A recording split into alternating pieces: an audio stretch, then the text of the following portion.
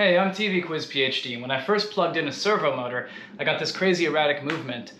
It took me a while to figure it out, but I'm going to show you how through a combination of Googling, guesswork, and dumb luck, I transformed this erratic motor into the motor you'll see here. Now the motor moves once every 12 seconds. This is pretty close to what I was aiming for, and it's good enough for me.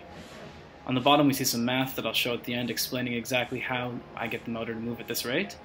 But for now, we're going to focus on the erratic motor and see how we can get it to stop moving back and forth like this by looking at the circuit diagram inside.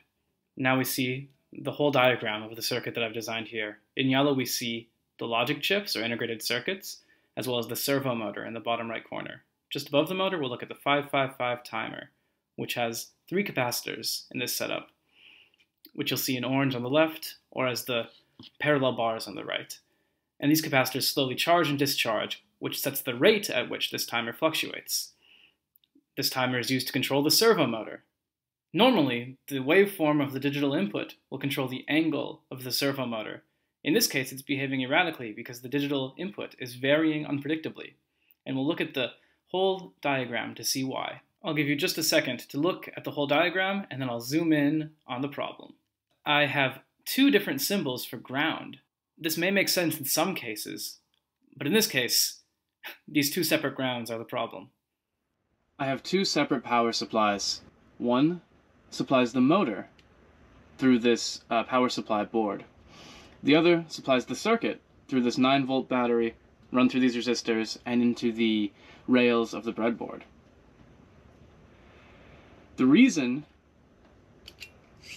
that we see this effect is because this wire is connected from an external ground that is unrelated to the ground of the circuit or really maybe the only way to fix this, is to bring in this wire, which I can connect to the ground of the power supply for the motor, and then simply connect that to the ground of the power supply for the breadboard. To show my changes on the diagram, I'll simply make all the grounds have the same symbol, which shows that they're all connected. And you see all of the crazy movement stops. And this will pave the way for me to actually control the servo motor. Now I'm setting up a second 555 timer. The configuration of this timer is set to have a much longer period than the timer actually controlling the motor. To do that, we'll have much larger capacitance and much more resistance. In the schematic for the new 555 timer, on the left, you'll see 38 kiloohms used both in charging and discharging. In the middle, an additional 500 kiloohms are used only in charging the capacitors. This means that the time in the charged state is much more than the time in the discharged state, and that's explained through the duty cycle. Okay, so I've finished setting up my circuit here. All right, well, I have no indicators. Let me get an indicator in here. So now I've got an LED that should show me every 20 seconds or so when this timer is active.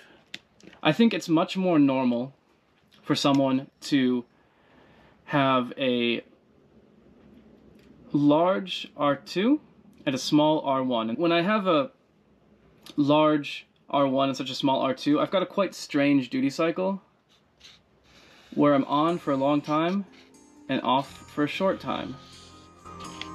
So we see we're on for a long time here.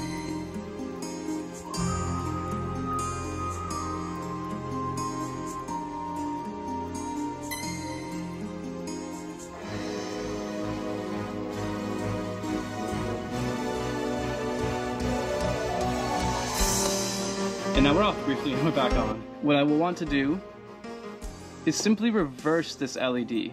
I haven't flipped the signal, uh, but I've flipped the LED indicator. And now the LED will only uh, light up for brief pulses at a time, which you'll see soon.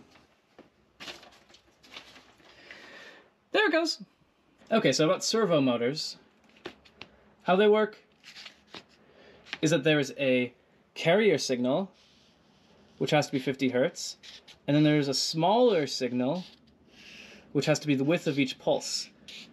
Now this means the duty cycle has to be less than half, less than 50. This measurement here is going to be 0.02 seconds, or um, 50 hertz, which we have.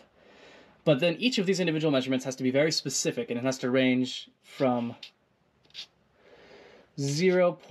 0.001 second to 0.002 seconds. All right, so now I need to do some math to calculate um, how to get those values with the capacitance that I know that I have. In a typical 555 timer, the width of the pulse depends both on R1 and R2. However, I've set up some diodes so that the pulse only depends on R1. You can see the diodes here in the diagram. Next, I'll ensure that the capacitors are only charged by one circuit path at a time. On the top, we have a smaller resistance of 440 ohms, and on the bottom, we have a larger resistance of 880 ohms.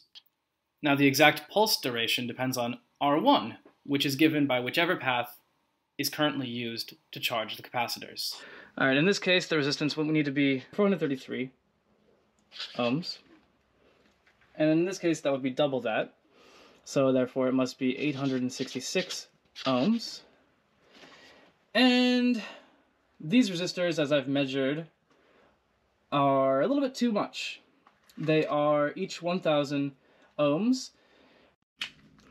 Okay, I'm going to get as close as I can with four 220 ohm resistors, giving me 880, and two 220 ohm resistors, giving me 440.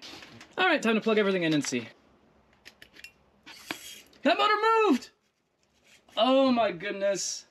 I've never been happier. It's not perfectly stable, but when that light turns on, God be willing, this uh, motor will move substantially. Oh my goodness. Uh, I've spent a week on this. Uh, I can't tell you, um, you know, how, how thrilled I am that this actually does something. Okay, here's the circuit as it was designed to make the motor turn periodically.